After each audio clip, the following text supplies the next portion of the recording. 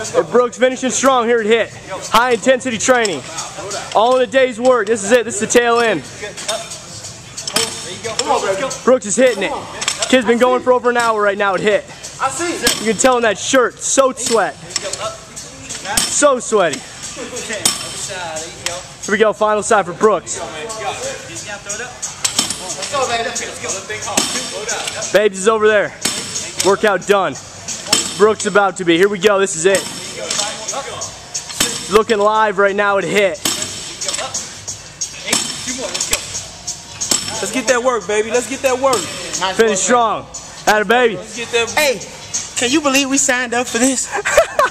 can you believe it? hard work pays off, baby. Live at HIT.